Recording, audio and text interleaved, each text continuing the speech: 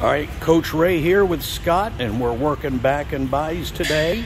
And as we begin our back routine, the first thing we always want to make sure where we're good is our lower back.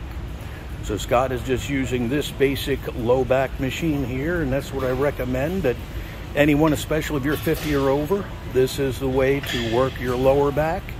I stay away from deadlifts, but here we can go ahead and uh, work the entire lower back safely when done correctly, we can uh, strengthen and increase the muscle size of our lower back without putting ourselves in risk of injury.